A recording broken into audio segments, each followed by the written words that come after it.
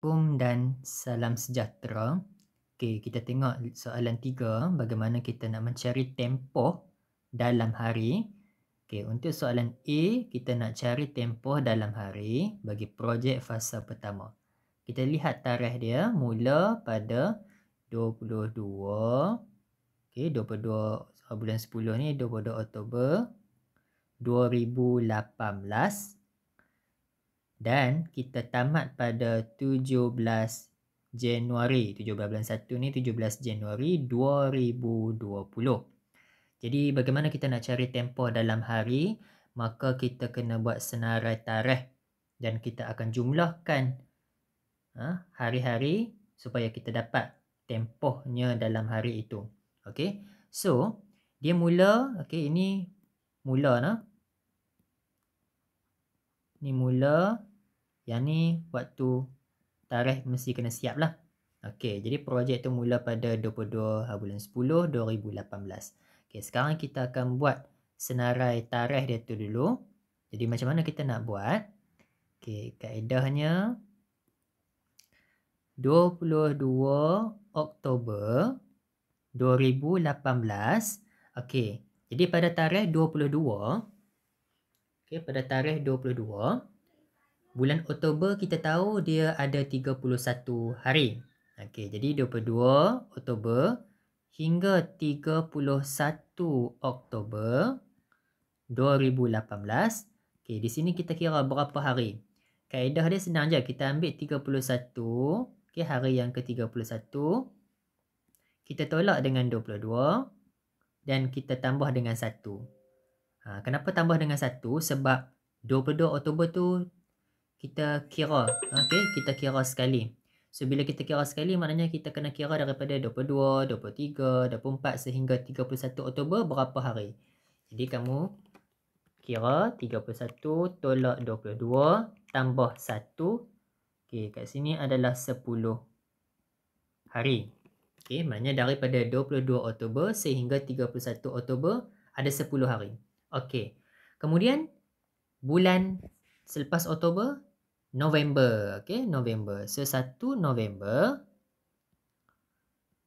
2018 sehingga okay, kita kira uh, bulan November ada berapa hari?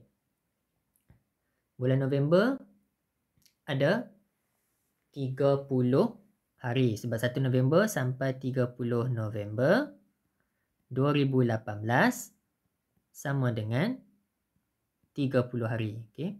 Ini kita tahulah. Okey, kemudian pada bulan Disember 1 Dis 2018 hingga bulan Disember ada 31 hari. So kita tulislah 1 Disember hingga 31 Disember 2018 sama dengan 31 hari. Okey. Baik, jadi lengkaplah. Bulan Oktober ada 10 hari bermula daripada tarikh 22 hingga 31. Kemudian bulan Disember, okey. Satu bulan November ada 30 hari dan satu Disember ada 31 hari.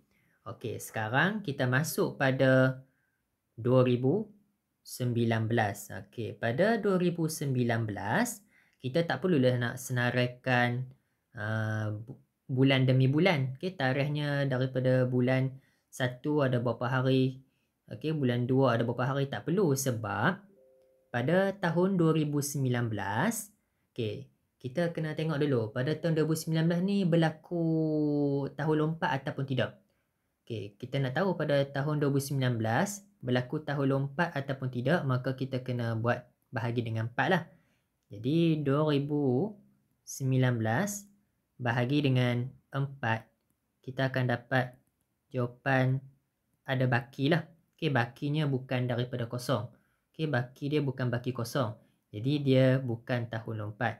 Jadi kalau dia bukan tahun lompat, okay, bukan tahun lompat, maka bilangan hari pada tahun 2019 ada 365 hari. Okey, kalau tahun lompat dia ada pertambahan satu hari pada bulan Februari tu.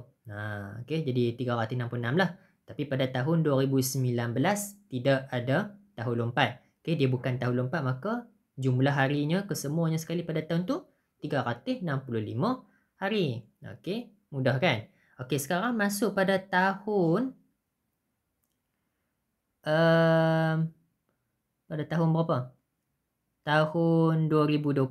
Okey, sekarang bila masuk tahun 2020, kita punya projek kita mesti pada 17 Januari 2020 mesti kena siap. Okey, jadi pada tahun 2020, okey, jadi kita mula daripada satu hari bulan. Okey, satu hari bulan satu. Okey, satu Januari 2020 hingga okey bulan Januari ada 31 hari kan. Jadi satu Januari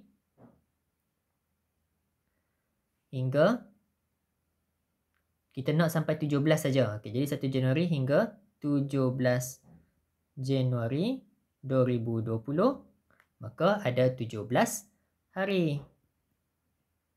Okey, ada 17 hari. Okey, jadi settle lah. Maka kita akan tambah. Okey, maka kita kena tambah 10 hari tambah 30 hari tambah 31 tambah dengan jumlah pada tahun 2019 sebanyak 365 hari dan tambah 17 hari iaitu tarikhnya bermula 1 hari bulan hingga 17. Okey, jadi kita buat operasi tambah.